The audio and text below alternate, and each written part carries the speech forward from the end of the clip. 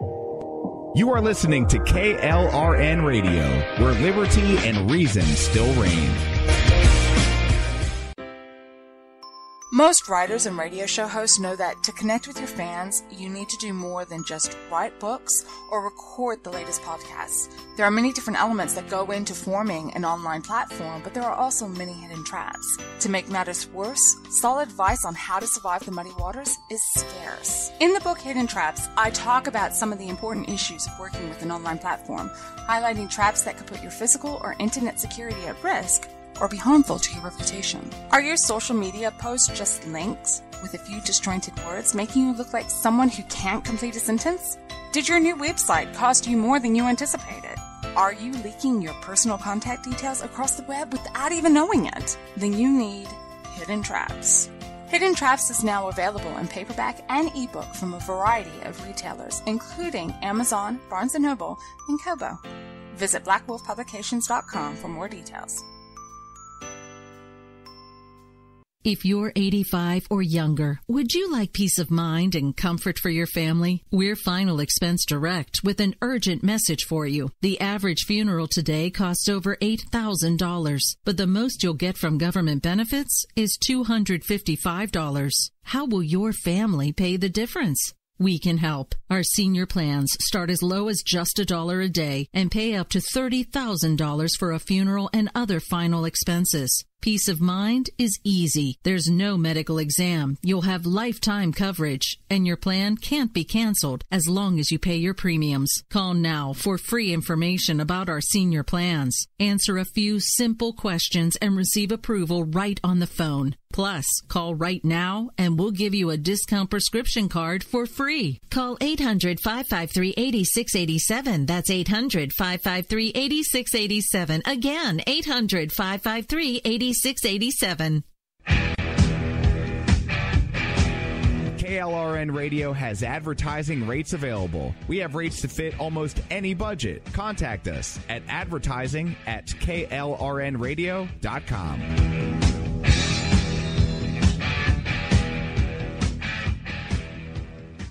Everyone loves liberty. Our rights come from God, not the government. So why are you letting other people tell you what's best for your healthcare? Exercise your freedom with Liberty Health Share. Liberty Health Share is a community of people who voluntarily share one another's medical costs. Liberty Health Share is founded on the idea that most people truly want to help one another. Healthcare sharing allows members to do just that as a true community that supports one another in times of need. Liberty believes people should make decisions for themselves and their families. Members are able to take back the freedom to make their own decisions about their healthcare healthcare, freedom from guilt or doubt about how your money is used. You have the freedom to direct your healthcare, not to be dictated to by bureaucrats. Stop letting others tell you what to do and join a community of like-minded people. Exercise your freedom. Join Liberty Health Share and take back the control of your healthcare while helping those around you. Call Liberty at 855-58-LIBERTY. Again, that's 855-58-L-I-B-E-R-T-Y for more information, or you can check them out at libertyhealthshare.org. Again, that's libertyhealthshare.org.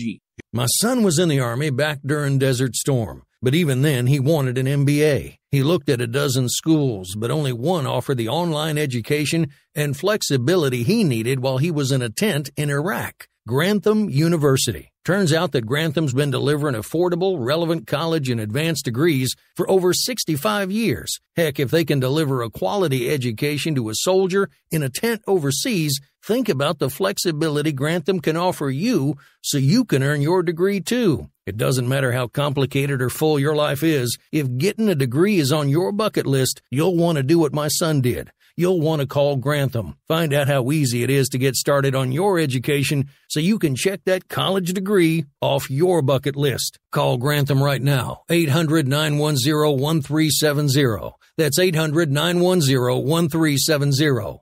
Flexible, affordable, relevant. Call 800 910 1370. At St. Jude, a family never sees a bill at all. It's like the world has been lifted off of your shoulders St. Jude Children's Research Hospital, finding cures, saving children. Learn more at stjude.org.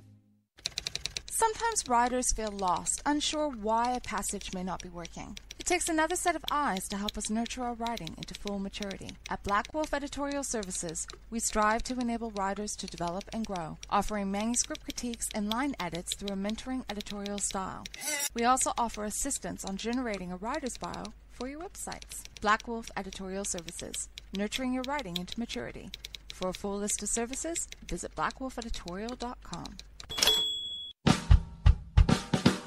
You're listening to the Spark Radio Network, internet radio like you've never heard before.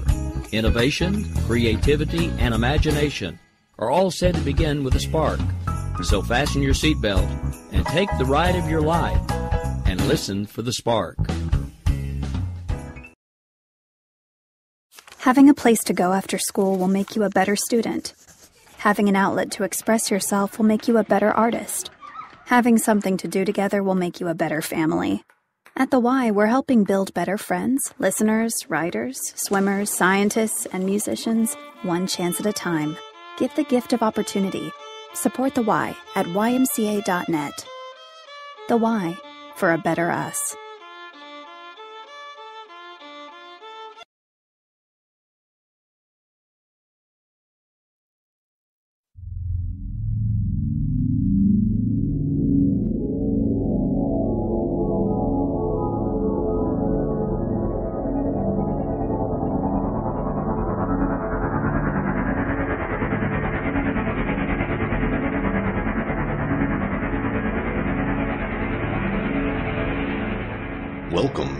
Freaky Fridays with Social Claude.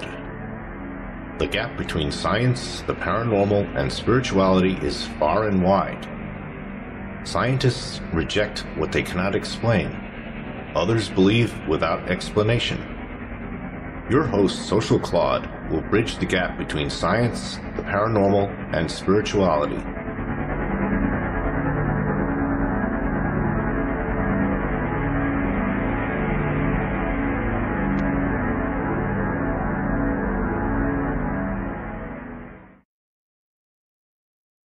Welcome to Freaky Fridays with Social Claude on KLRNradio.com. Tonight's topic is Why are extraterrestrial beings obsessed with our nuclear arsenal? Before I go to the main topic of tonight's broadcast, I thought it would be wise to give my listeners a little background information about myself. I've had an interesting life, throughout which there have been anomalous experiences. I've yet to decide whether or not to reveal specifics, but suffice it to say, my experiences lead me to believe in the paranormal and spirituality. Back in the earlier days of the internet, I was heavily involved with the topic of UFOs and their occupants.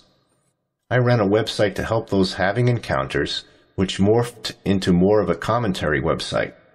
In fact, later in the show, I will be reading one of my more popular posts from that era. If you want to know more about me personally, I've been an award winning producer of video programs for a nonprofit, an award winning jazz compos- composer and guitarist. I'm also the co host of Thursday night's America Off the Rails with Rick Robinson, also heard here at KLRNradio.com. I've been an activist on various issues throughout my life as well. My main goal of Freaky Fridays is to inspire out of the box thinking on whatever topic I illustrate. My conclusions should not necessarily be yours. Caveat emptor applies. That being said, let's begin our journey. On March 16, 1967, at Malmstrom Air Force Base in Montana, an unidentified flying object, or UFO, shut down 10 Minuteman missiles. Declassified government documents and eyewitness testimony prove that this extraordinary event occurred. Apparently, the Malmstrom incident is only the tip of the proverbial iceberg. Here's a short excerpt of UFO researcher Robert Hastings speaking at the Disclosure Conference at the National Press Club on September 27, 2010.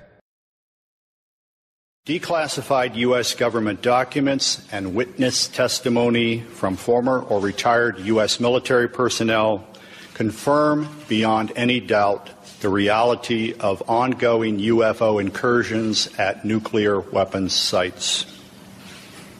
When I say UFO, The witnesses have described these craft as disc shaped, or cylindrical shaped, or spherical. These objects are capable of both hovering and high velocity flight, usually, usually completely silently. Over the past 37 years, I have personally located and interviewed more than 120 of these former or retired military personnel, all of whom report UFO incidents at one or more of the following locations nuclear missile sites, nuclear weapons storage areas, and nuclear weapons test sites in Nevada and the Pacific during the era of atomic atmospheric testing. The United States military and government officially still maintain that the UFO and extraterrestrial or ET presence is a figment of our imaginations. However, a de facto state of UFO ET disclosure exists now, given the whistleblower testimony and declassified official documents. Getting back to the ET's interest in our nuclear weapons, the big question is why? Perhaps there are some clues from my past thinking and research on the matter. In 1997, I wrote an article postulating that the Roswell UFO crash or crashes were staged by the extraterrestrial or ET visitors to Earth. In retrospect, I may not necessarily still agree with everything I wrote. However, I stand by my feeling we need to focus on the big picture if we are ever to unravel this enduring mystery of the ET presence. The big question that remains is why are they here? Roswell Revisited. We hear but do not listen. A personal viewpoint. Part 1 Introduction. As many seek to prove or disprove the 1947 Roswell UFO crash or crashes, I continue to wonder, what does this all mean? I hope more people would be concerned with motive, intent, and a global or macro perspective on this enduring mystery. Below is, is my theory that the Roswell crash was staged by these mysterious beings. Even if the, the theory is wrong or partially correct, the main point is we must start looking for meaning. It is apparent someone is trying to say something and we continue to hear but do not listen. Before I get to my theory, some explanation of the terminology I use is in order. Additionally, some historical background may be helpful. Please excuse me if you already have studied this. It is important to reiterate to fully understand why I think what I believe. When I use the term UFO, it could be an interstellar spaceship, an interdimensional craft, some sort of time machine, or even a manifestation of human consciousness. When I use the word alien, I take a similar approach. In other words, the aliens could be extraterrestrials from another galaxy, interdimensional interlopers, time traversing humans from the future, or one possible future, or even some sort of spirit, spiritual manifestation. A colleague suggested that when it, when it comes to these beings, it is like choice E on a multiple choice test all of the above. Now would be a good time for a station break. You are listening to Freaky Fridays with Social Claude on KLRNradio.com. Every day, 70,000 puppies or kittens are born in the U.S. Cute, right? What's not cute is that half of all litters are accidents, which leads to millions killed in shelters each year. Turns out, those little cuties can get pregnant sooner than you think. But here's the good news you can stop the accident before it happens. When you bring home a pet, get them fixed at four months old. Prevent more. Fix at month four. Visit fixat4.com for more information. Brought to you by Best Friends Animal Society. Hi, this is Kelsey Grammer. When military service members head into battle, none are expected to face the enemy alone, but many return home and become isolated as they struggle with the visible and invisible wounds of war. It can be difficult knowing how to overcome that challenge and rekindle bonds similar to those formed in the military. Wounded Warrior Project supports these injured veterans through their recoveries by connecting them with fellow warriors and their communities. No one should fight this battle alone. Join us at woundedwarriorproject.org. We all play a role in keeping our community safe. Every day, we move in and out of each other's busy lives. It's easy to take for granted all the little moments that make up our everyday. Some are good, others not so much. But that's life. It's when something doesn't seem quite right that it's time to pay attention. Because only you know what's not supposed to be in your everyday. So protect your everyday. If you see something suspicious, say something to local authorities. There was this one time I went camping with my parents in a forest, back when I was maybe like eight or nine. It was amazing. We could hear the sounds of the forest all around us frogs singing, and owls calling, and a creek nearby.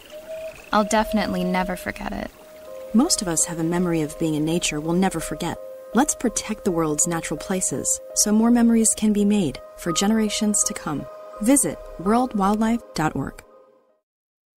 Hi, this is Christina Ricci with RAINN. Every two minutes, another American is sexually assaulted. If you or someone you know has been sexually assaulted, you are not alone. Help is just a call or click away through the National Sexual Assault Hotline. Please call 1 800 656 HOPE, that's H O P E, or visit rainn.org, that's R A I N N dot O R G. Brought to you by RAINN and this station. To be able to just get my son to St. Jude and not think about how we will pay for it, it just takes so much weight off of my family. St. Jude allowed me to focus on being a mom to Bryce. And sometimes I'm just in awe of the impact St. Jude has, not only on this community, but the world. St. Jude Children's Research Hospital. Finding cures, saving children. Learn more at stjude.org. Welcome back to Freaky Fridays with Social Claude on KLRNradio.com. Getting back to my article, Roswell Revisited. Part 2 Corso and the Crash Dummies. The event that sparked my final realization about what I believe Roswell and the prior and subsequent alien involvement on Earth means was in reading The Day After Roswell by retired Colonel U.S. Army Philip Corso. In the book, Corso maintains he was in charge of disseminating some of the artifacts from the crash retrieval of a UFO from or around Roswell, New Mexico in 1947.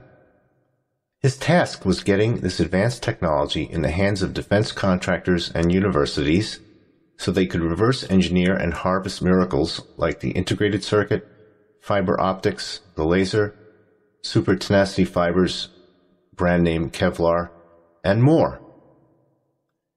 His involvement was in the early 60s at the Pentagon working under General Trudeau in the Foreign Technology section of Army Intelligence a convenient, a convenient cover for the real work at hand for Corso. The same week in July 1997, the day after Roswell debuted, we crashed, said sarcastically, our own UFO on Mars, called NASA's Mars Pathfinder, at least from the perspective of a Martian. Corso did, did his first book signing at Wright-Patterson Air Force Base, and it was the 50th anniversary of, anniversary of the Roswell incident. Interesting. Quite a week. Just two weeks prior, the U.S. Air Force came out with the laughable the Roswell dead aliens were crash dummies lie. Obviously, the UFO matter is still highly classified, and the disinformation specialists of the Air Force had to lie. However, I think it goes much deeper than that. Since the dummies were used eight years after the Roswell crash, the Air Force obviously does not want us to take them seriously while at the same time officially maintaining the status quo of the cover up. But the cover up seems to be unraveling, again perhaps even by design, like the crash itself. So, we have the Looney Tunes Air Force pronouncement and Corso blowing the whistle not only about Roswell, but about the double edged nature of the Cold War with the Soviets.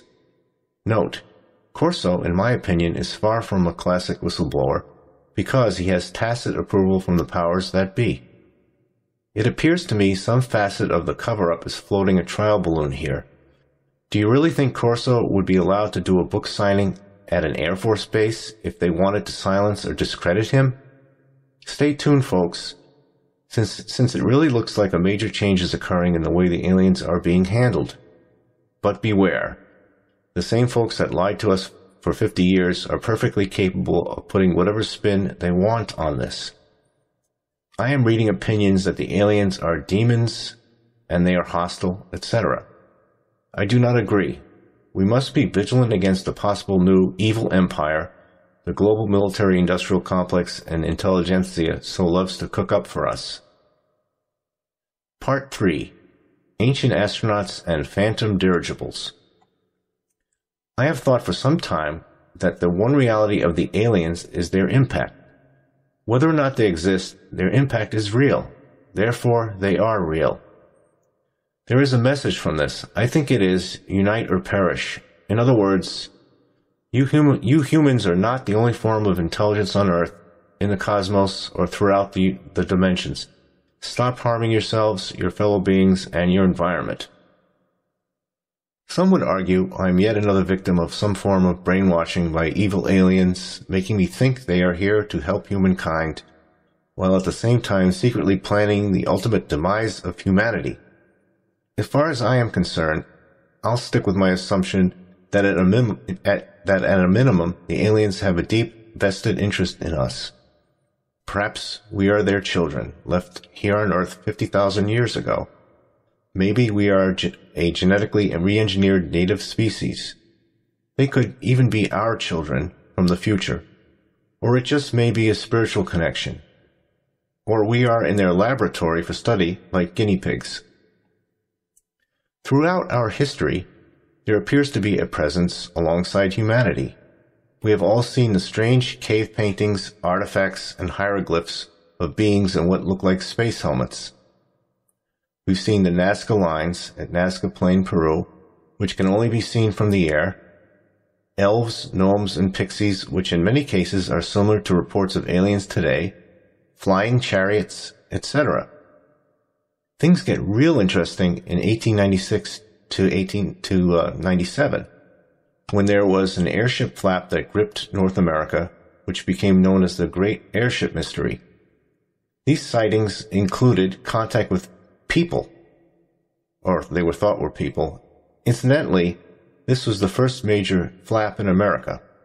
A flap is a period or wave of high UFO sightings with reports by the press. If you look at the technology used by the aliens on a timeline, you will see they always seem to be one step ahead of what our minds at the time could be comfortable understanding. Airships in the 1890s, just prior to their actual use by humans.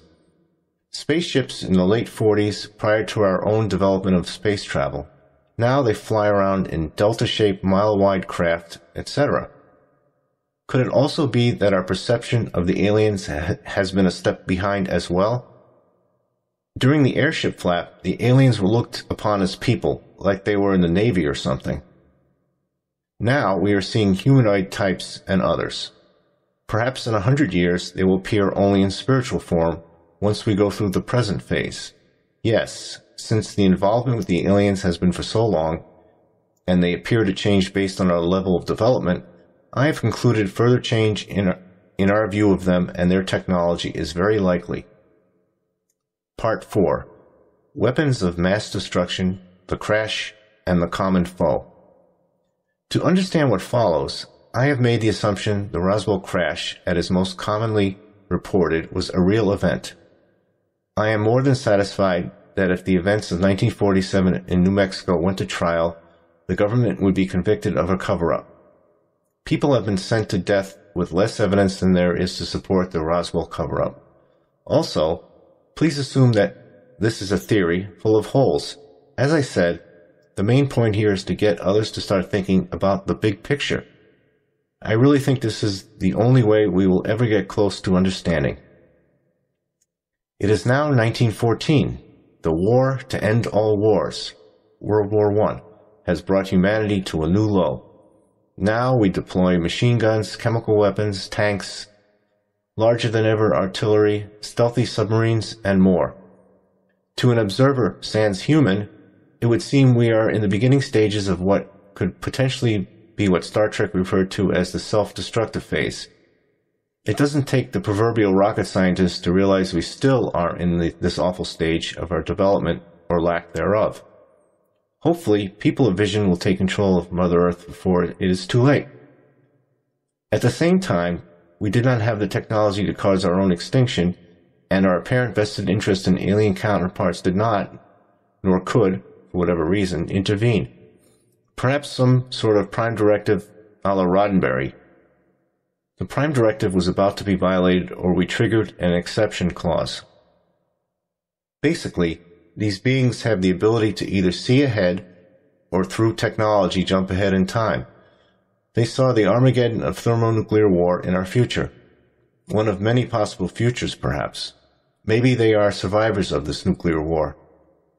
Actually, common sense would tell them, based on the horrors of the two, two world wars, that extinction was likely now that we had the bomb. Keep in mind, the airship flap of the late 19th century was, was generally benign in nature. This says an awful lot to me. If the aliens did not invade and conquer us in 1897, I don't think they are about to in 1997. Now it is 1947. The United States has atomic weapons and in two years are about to be joined by the Soviets. Soon after that, both will develop thermonuclear weapons, which make the Trinity bomb look like a firecracker.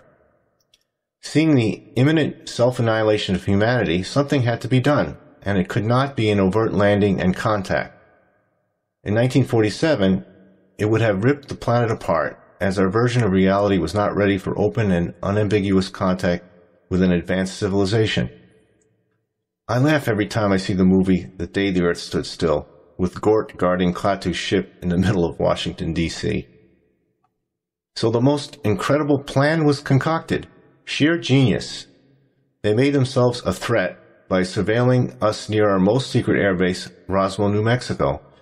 Roswell was the home of the only nuclear strike force the Army Air Force had at the time.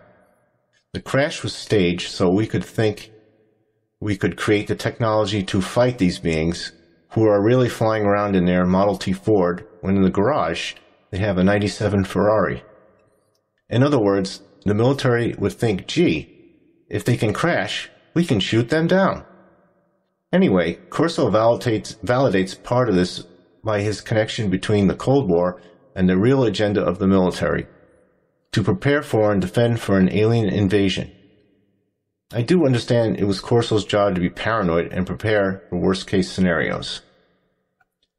1947 was the beginning of the invasion. This was the same year the Air Force branched off on its own from the Army and the CIA, CIA was formed. Interesting.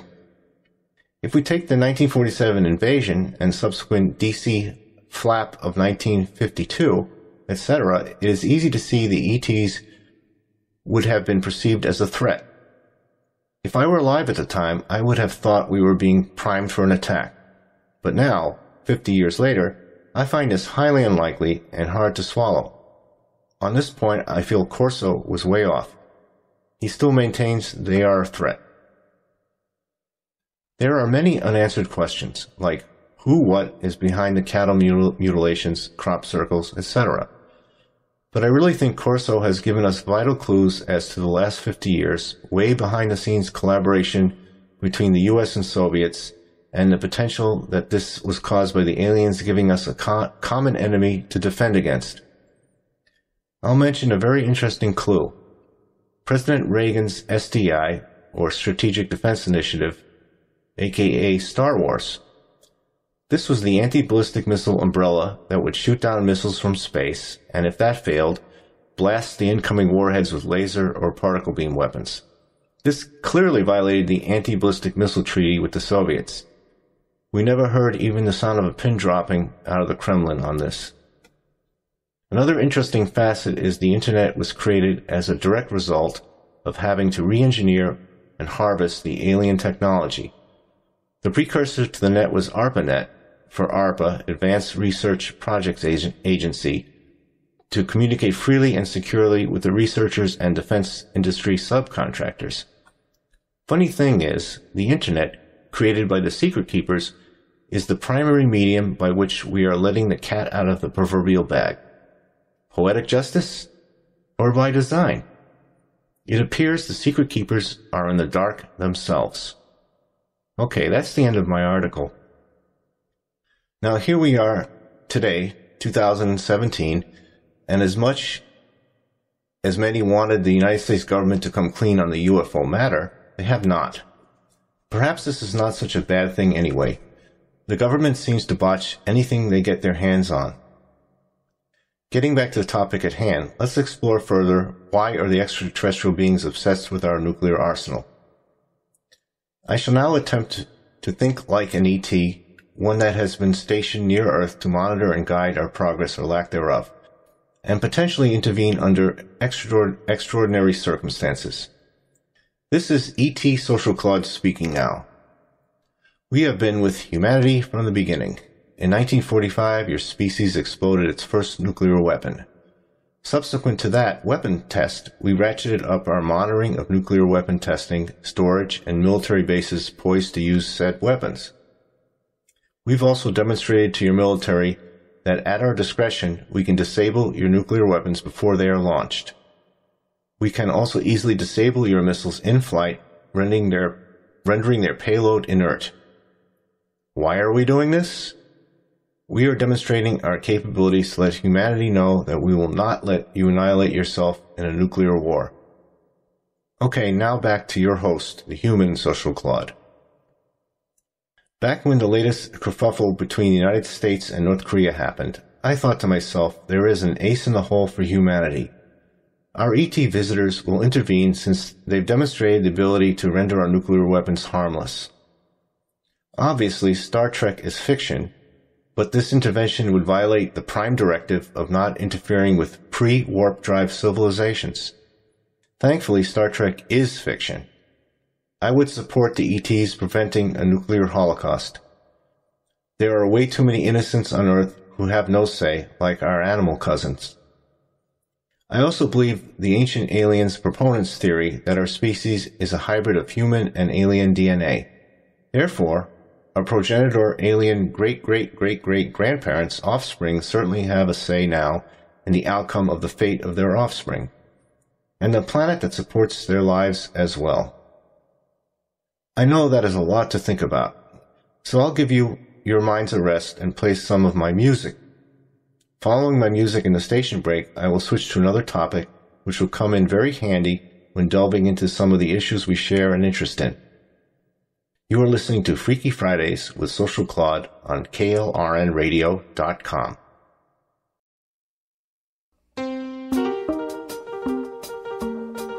Mm-hmm.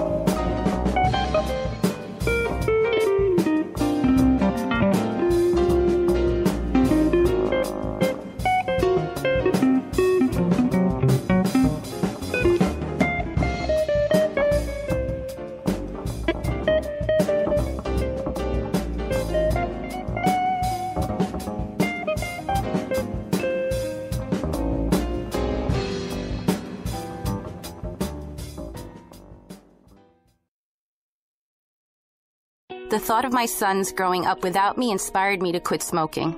I talked to my doctors and then I threw away all my cigarettes, ashtrays, and lighters. I started exercising instead of smoking. Staying away from alcohol when I was first quitting was key.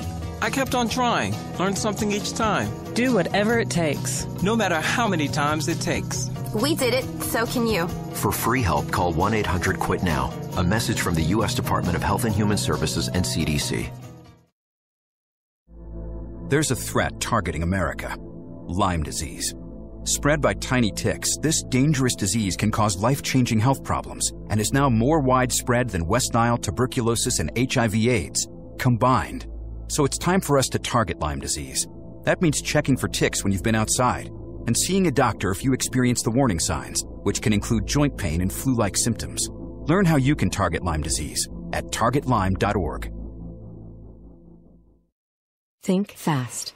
In the short time it takes to listen to this message, a small flame can turn into a big fire. Several minutes more, and thick, poisonous smoke may have filled your lungs and reduced your ability to respond. Give it five, and your entire home may be filled with flames. Keep breathing, we've got you. Don't let your world go up in smoke. Have working smoke alarms and always stay in the kitchen when cooking at high temperatures. Learn more at usfa.fema.gov because fire is everyone's fight. Having a place to go after school will make you a better student. Having an outlet to express yourself will make you a better artist. Having something to do together will make you a better family. At the Y, we're helping build better friends, listeners, writers, swimmers, scientists, and musicians, one chance at a time. Give the gift of opportunity. Support the Y at ymca.net. The Y for a better us. This is a message from CDC. It's natural to worry and feel stress during and after disasters. Everyone reacts differently, and your feelings will change throughout the emergency. Notice and accept your feelings. Take care of your emotional health during an emergency so you can think clearly and protect yourself and your family. Self care during emergencies will help your long term healing. Watch for these common signs of distress feelings of fear or anxiety, changes in energy and activity levels, difficulty concentrating, eating, or sleeping, nightmares, headaches, body pains, stomach problems or skin rashes, changes in alcohol, tobacco, or other drug use, anger or short temper. If you experience any of these and are unable to carry out normal responsibilities because of them, get professional help. For more information, visit cdc.gov or call 1 800 CDC Info. Welcome back to Freaky Fridays with Social Claude on KLRNradio.com. It's a pleasure to be your host for tonight's show.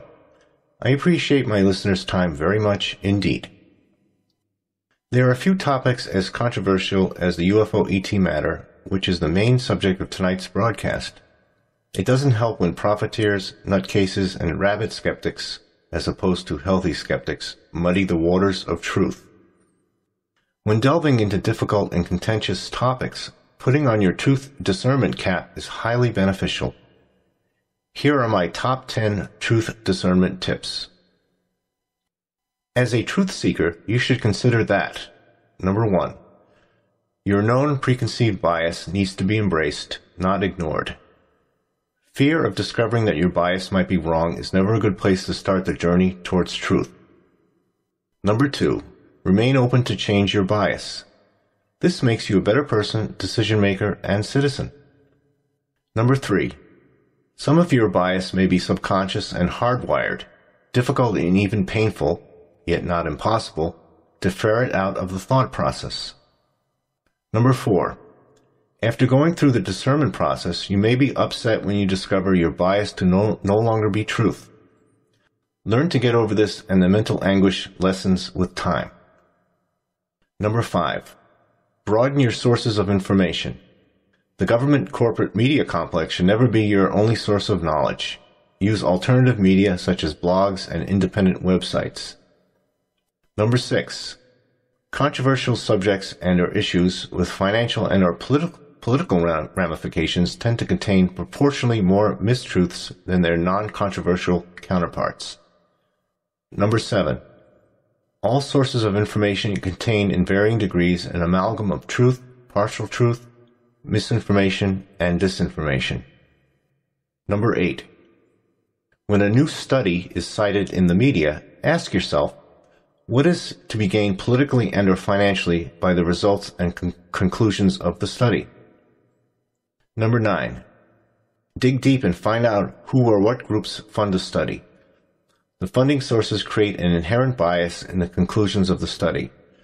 This is true because those doing the study do not wish to bite the hand that feeds by disagreeing with the bias of their gravy train. Number 10. Look beyond the names of groups pushing an agenda. Frequently, groups will pick names for themselves that are the opposite of their actual intent or mask their true motivation.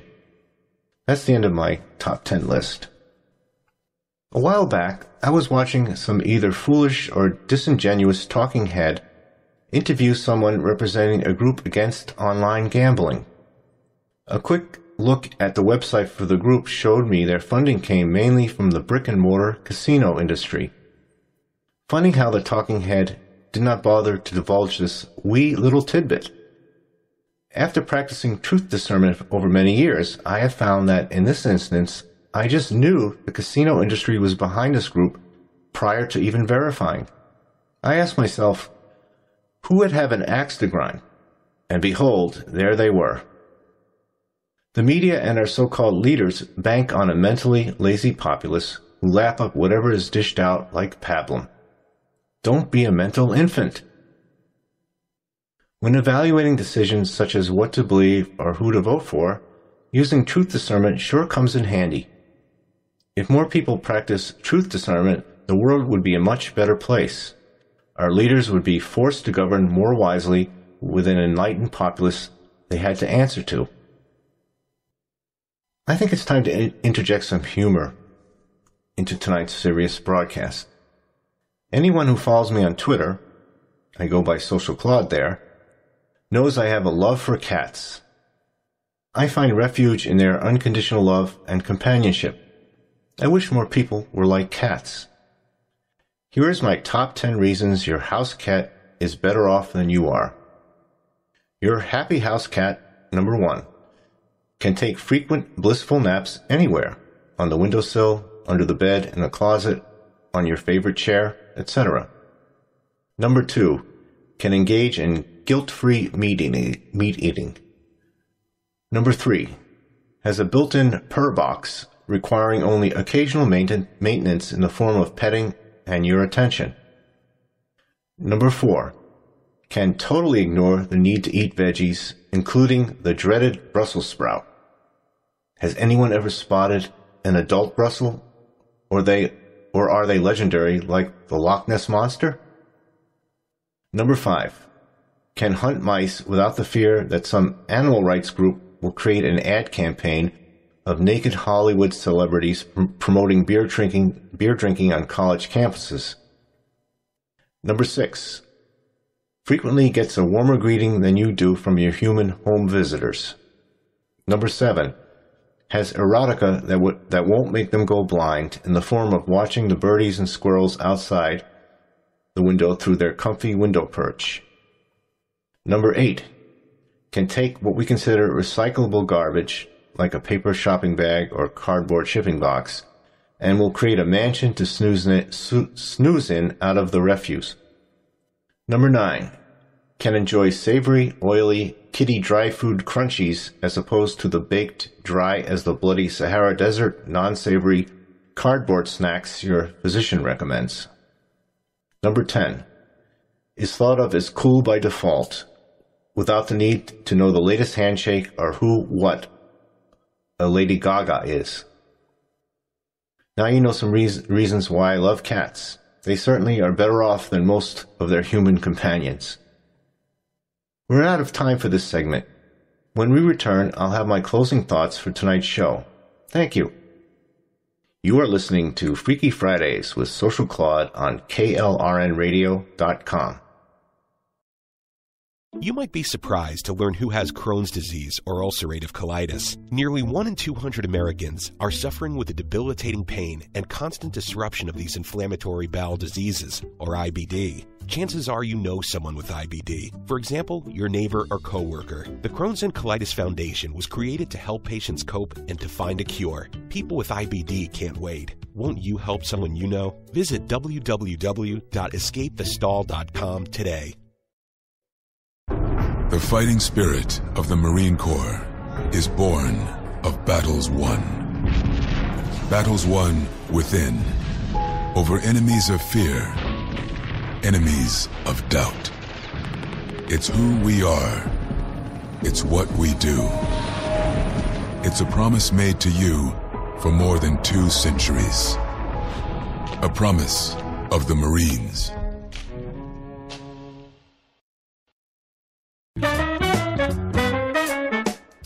Hello, I'm Social Claude, the outspoken host of Freaky Fridays with Social Claude and co host of America Off the Rails with Rick Robinson. Both shows are on KLRNradio.com. I'm also a prolific meme creator on Twitter. Being controversial can make it hard for people to earn a living. Fortunately, now there is Patreon, a place where creators like me can find support from like minded patrons please take a moment to search for my Social Claude page on Patreon. You'll find a short video and more information about me. Patreon plans start at only $5 per month or around 16 cents a day. With your help, I can continue to innovate and create without the fear of censorship from traditional employers. Thank you for your time, and thank you for supporting Social Claude on Patreon. This weather is amazing. I love being outside. Last time I mowed the lawn, I got burned. Ouch! You've got to watch out for too much sun. Anytime you tan or burn, you've increased your risk of skin cancer. What are you talking about? Anytime your skin changes color after sun exposure, you've increased your risk of skin cancer. Really? Yes, the next time you're out, plan ahead. Wear long sleeves if you can, or at least a shirt. Then use a broad spectrum sunscreen of SPF 15 or higher anywhere that's not covered. And don't forget a wide brimmed hat. A wide brimmed hat? Seriously?